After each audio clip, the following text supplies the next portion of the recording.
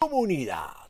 Cuando pensábamos que no podía haber algo peor que cuarentones en Netflix, llega Amazon Prime y nos dice quítense que ahí les voy y estrena la octava cláusula. Y Santa Madre de Dios, tuve que lavarme los ojos con agua bendita para no quedarme ciego.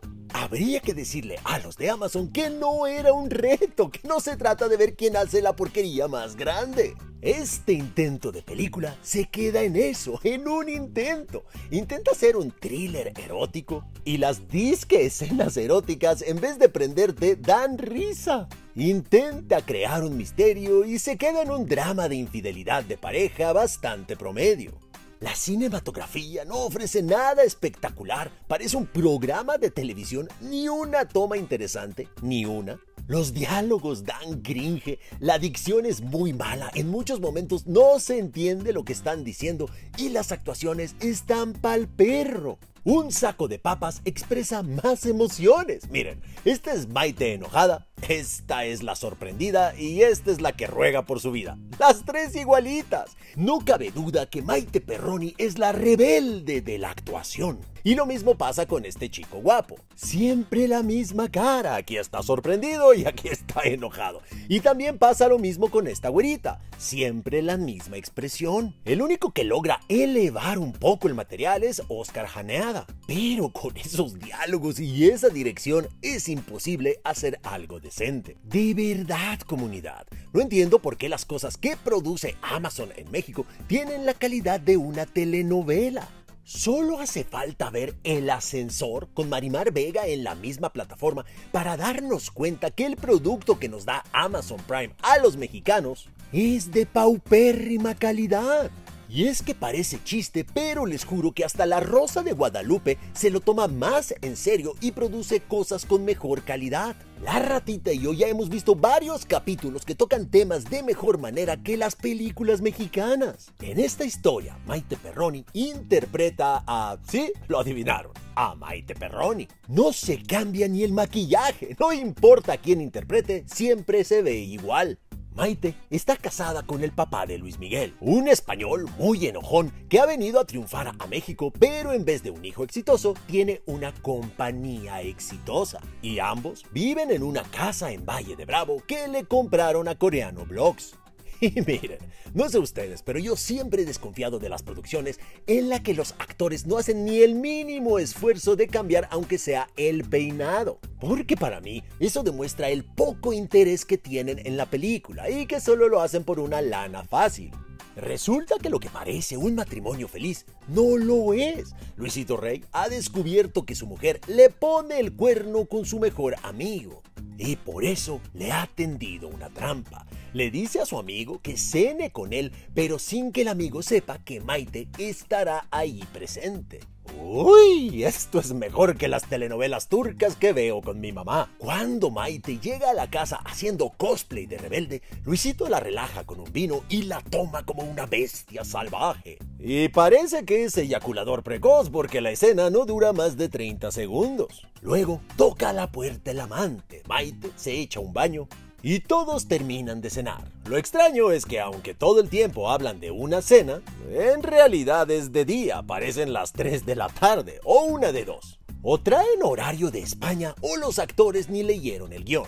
La 2, definitivamente es la 2. Al terminar la cena, Luisito Rey les confiesa que ya sabe todo y les pide que firmen unos papeles que le darán todo el control de la empresa. Y parece que Luisito Rey ha estado viendo demasiado 40 sombras de Grey. Porque la octava cláusula los obliga a Maite y al amante a hacer el chucu chucu frente a él. Ah, por eso la película se llama La octava cláusula. Ah, ya entendí. Ahora que alguien me explique qué tiene que ver el título de la película con la historia. La película no trata de la octava cláusula, sino trata de unos asaltantes, o sea, un home invasion. La octava cláusula no tiene ninguna importancia. Y si se preguntan qué pasa si Maite se niega a firmar, agárrense. Luisito va a dañar su reputación en las redes sociales. O sea, no la va a dejar en la calle, no la va a dejar en la ruina, va a subir las fotos a las redes. Antes de amenazarla con eso, debería de hablar con su abogado o con Just Stop. Porque si sube esas fotos, esto no va a terminar muy bien para él. Pero bueno, después de un rato de discutirlo, Maite por fin firma. Luego agarra todas sus joyas y está lista para irse de la casa en negligé. Pero ¿por qué no se puso unos jeans si ahí tiene la maleta? ¿Por qué en vestido de noche? Supongo que eso no importa. Lo que sí importa es que antes de que pueda irse, una mujer misteriosa toca a la puerta. Luisito Rey, siendo el caballero que es, acompaña a esta desconocida a revisar su carro descompuesto. Millonario y mecánico, ya no hacen hombres como él. Lo que nadie sabe es que esta güera está coludida con este malandro que sale a toda máquina para encontrarse con ella. Mientras Luisito y la güera regresan a casa caminando, Maite y el amante agarran una pistola que había en la caja fuerte. Maite y el amante han decidido eliminar a Luisito. La güera va al baño mientras que Maite y el amante tratan de hacer el chucu chucu, pero no pueden. Lo intentan de nuevo y no pueden. Lo intentan por tercera vez y tampoco lo logran. Vaya thriller erótico. Lo que sí logran es que en la siguiente escena Maite ya trae puestos unos jeans. La magia del cine. Luego de ver la misma escena repetida tres veces del malandro manejando, no les miento, es la misma escena, en el mismo lugar, los mismos movimientos de boca, por fin ha llegado a la casa. ¿Por qué ha tardado tanto? Porque se detuvo a rasurarse. Sí, ya sé lo que están pensando. Es una mafufada. Esta película es una pendejada. Mientras los están amarrando, Luisito Rey forcejea con el malandro. No les miento, a partir de aquí todo se va a la shit. La güera dispara y de la pistola sale un humo falso. Maite está cayendo hacia atrás, hay un corte a su pierna y aparece en otro lugar. Noquean al amante y a Luisito Rey y le hacen un con un cinturón en la pierna a Maite pasa toda la noche y a la mañana siguiente Maite no se ha desangrado y le pide a Luisito que la lleve al hospital. ¿Qué? Una patrulla de policía los para y llevan a Luisito a la comandancia en donde el muy inteligente atando cabos se da cuenta de que todo ha sido una trampa de su ex mujer. Resulta que Maite se puso de acuerdo con el abogado, el abogado le llamó a la güera, Maite convenció a la güera de hacer otro deal, coludidas, le dio el balazo en la pierna, borró las cámaras, Maite eliminó a su amante y el malandro lo enterró en el bosque. Ojalá que la güera y el marandro no vayan a extorsionar al abogado con todo lo que saben.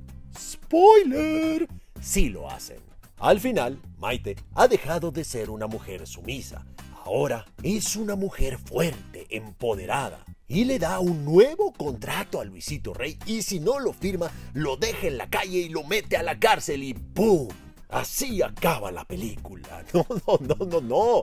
Una mafufada. Esto tiene la calidad de un video home. Pero lo que no entiendo es que si Maite no va a hacer escenas subidas de tono porque no tenían el dinero para pagarle, ¿Para qué acepta un thriller erótico? ¿Solo para decir que hace cine? ¿Que es actriz de películas? ¿De qué sirve salir en 50 proyectos si uno es peor al anterior? Es más digno salir en una buena telenovela que en cinco malas películas. ¿Y quién le dijo que es una fe fatal? Maite no proyecta erotismo. Pero comunidad, me encantaría saber qué piensan ustedes sobre esta película, si es que ya la vieron, y sobre todo qué calificación le pondrían. Para mí, es una producción de muy baja calidad que no vale la pena invertir tu tiempo en ella. Un Christoph vomitando, un menos 20.